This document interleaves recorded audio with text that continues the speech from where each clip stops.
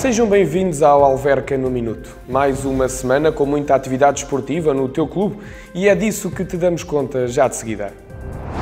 O fim de semana futebolístico terminou com o reforço da liderança no Pro Nacional. A deslocação à Lourinhã saldou-se numa vitória por uma bola a zero.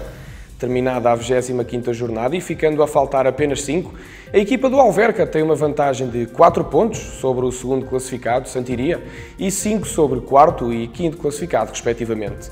A manutenção do primeiro lugar segue no domingo, dia 26, em casa, frente ao Carregado. Estão, por isso, todos convidados para vir apoiar a equipa pelas 4 da tarde. Os Júniores acertaram as contas do calendário com o jogo em atraso da sexta jornada da fase de promoção. Na recepção ao Casa Pia, registou-se um empate a zero que deixa a equipa na terceira posição em igualdade com o Nacional da Madeira.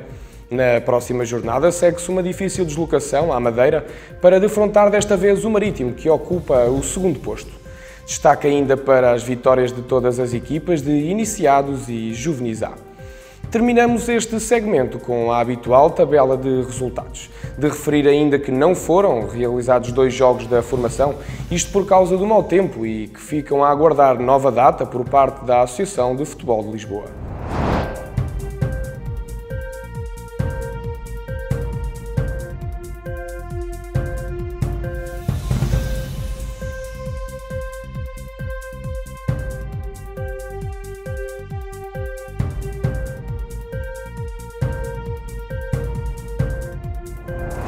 Hockey em Patins, vitória por 2-1 diante dos Lobinhos, em jogo a contar para a terceira Divisão Nacional. A luta do segundo lugar segue na próxima semana com a deslocação ao Tujal, que está em igualdade pontual com a equipa do Alverca. Começou a Final Eight para apurar o campeão nacional de sub-20. Na visita à São Joanense, uma derrota tangencial por 4-3. E como não existem facilidades, a campanha segue em casa com a visita do Hockey de Barcelos. É no dia 29 pelas 16. Nota final do Hockey em Patins para a chamada à seleção distrital de sub-17 da atleta Eva Lavado. A convocatória enquadra-se no segundo torneio inter-associações que decorreu em Cucujéis. Seguem todos os resultados.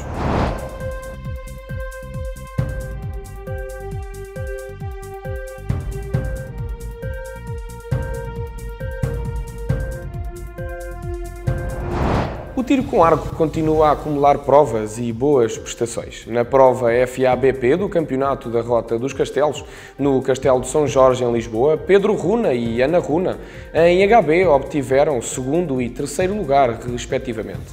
Já em Castelo Branco, no Campeonato de Campo, em RSH, Marco Barata garantiu o 15º posto. Domingo que vem, mais duas importantes deslocações, FABP na OTA com 11 arqueiros e FPTA nas Caldas da Rainha com 4. A patinagem artística marca presença na Taça Cidade de Lisboa, em patinagem livre e solo dance. O evento começou no passado sábado no Complexo Desportivo do Futebol Clube de Alverca e terminará dia 25 de abril em Vila Franca de Xira.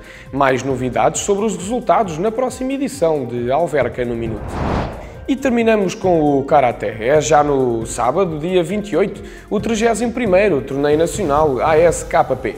O certame terá lugar no nosso pavilhão com início marcado para as 9 da manhã. A entrada é livre, por isso não há desculpa para que não compareça.